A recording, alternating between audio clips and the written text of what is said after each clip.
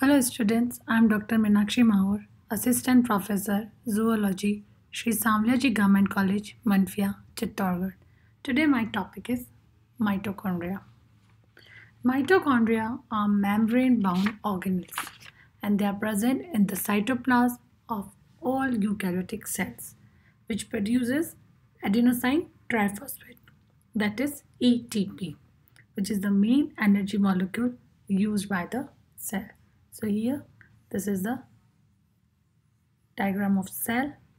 Here you can see mitochondria. Uh, mitochondria are also called chondrosomes. They are the powerhouse of the cell because they are engaged in the production of energy by oxidative respiration. They are found in all eukaryotic cells. They are oxygen consuming ribbon shaped cellular organelles floating free throughout the cell. And why they are known as powerhouse of the cell? Because they supply all the necessary biological energy to the cell by oxidizing the substrate available. Substrate over here means glucose. If glucose is available, then by enzymatic oxidation of glucose in the mitochondria will release energy. Mitochondria are abundantly found on those sites where energy is honestly required, like sperm cells, muscle cells, liver cells, etc. In liver cell, they are found up to 1600 in number. Microvilli also they are found in good number. In oocyte, uh, there are about more than 3 lakh mitochondria. So, their number in a cell depends upon the metabolic state of the cell and they are more numerous in the cell which are active in energy production like muscle, liver cells, microvilli, oocytes. Now history. In 1880, mitochondria were discovered, discovered by Kolliker from the flight muscles of insects. But in 1890, mitochondria were first described by Richard Altman and he called them bioplast. In 1897, uh, C. Benda coined the term mitochondria. Mitochondria because they are thread or rod-like structure. Mito means thread and chondrion means granules. In flight muscles of insects, uh, the number of mitochondria is about 4 lakh to 5 lakh. Uh, they are, however, absent from mature mammalian RBCs. Now, structure. Mitochondria are mobile, plastic organelles that have a double membrane structure and it ranges from 0.5 mm to 1 mm in diameter. They have four distinct domains. First is outer membrane, inner membrane, intermembrane space and the matrix. So here you can see outer membrane. This is and this yellow one is a inner membrane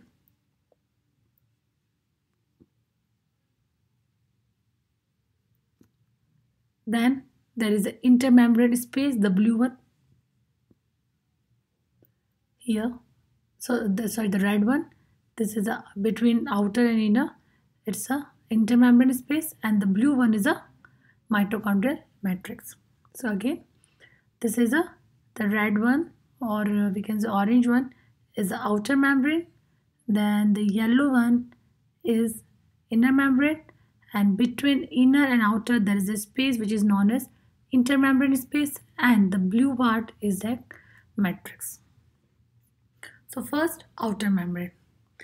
It is a smooth membrane and it resembles more with a plasma membrane in structure and chemical composition.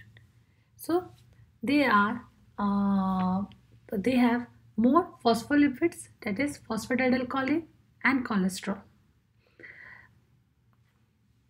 Uh, uh, and they, in outer membrane there are porins which allow small molecules to be exchanged between the cytoplasm and the intermembrane space. If outer membrane of mitochondria is removed, then this structure is known as mitoplast. Means mitochondria without outer membrane is known as mitoplast. Now inner membrane. It's a markedly folded or tubular and it has many folds like crista. So here you can see this is a folded part crista. They increase surface area of the membrane. Crista contains racket-shaped F1 particle. Here crista have F1 particle that contain ATPase enzyme which are used for ATP synthesis. Crista encloses the matrix. So you, you can see the this part is covered by crista. Crista is rich in many enzymes, coenzymes and components of electron transport chain which is used for oxidative phosphorylation. Inner membrane is topped with a pinhead particles called oxysomes or elementary particles or F1 F0 particles.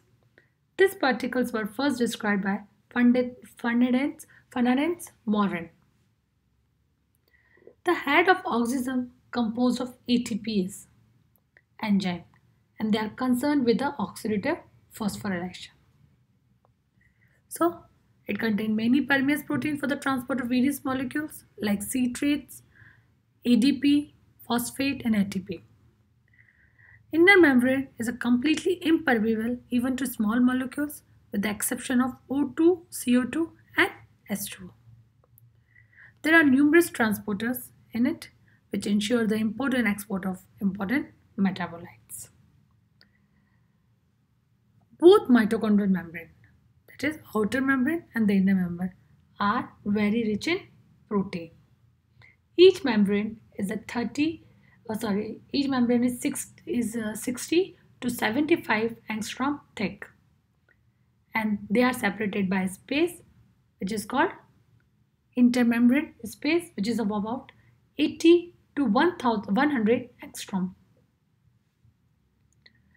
Uh, um, phospholipid in the inner membrane is mainly diphosphatidylglycerol glycerol and inner membrane have more protein then intermembrane space, it is located between the inner and outer membrane and it is the same composition as that of the cell cytoplasm.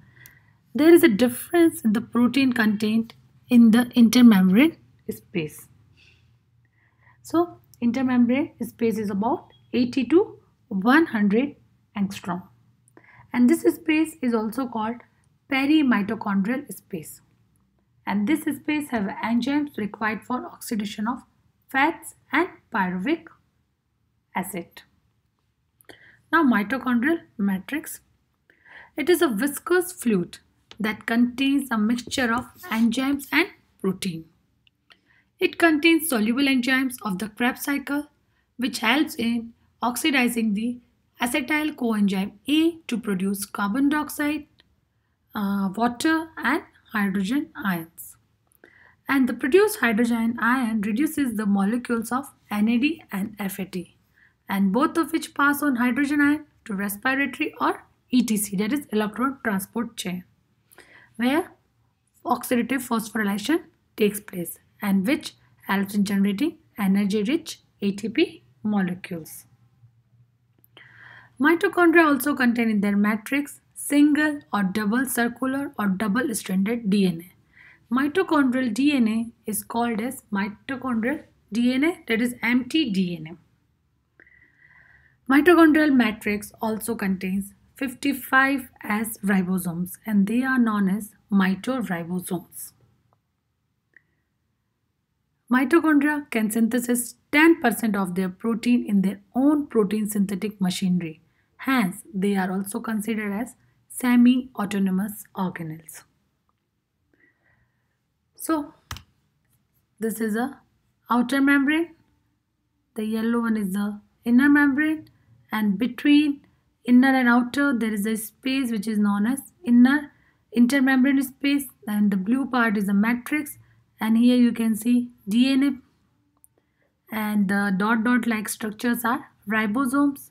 You can see granules over here so this is all about the structure of mitochondria the number and shape of the mitochondria as well as the number of crista they have are differ can differ widely from one cell type to another tissue with extensive oxidative metabolism like heart muscles have a mitochondria with particularly large number of crista. Now functions of mitochondria. The most important function is to produce energy through the process of oxidative phosphorylation. It produces molecule adenosine triphosphate which is one of the cell energy's currencies and it provides energy to drive a host of cellular reactions and mechanisms.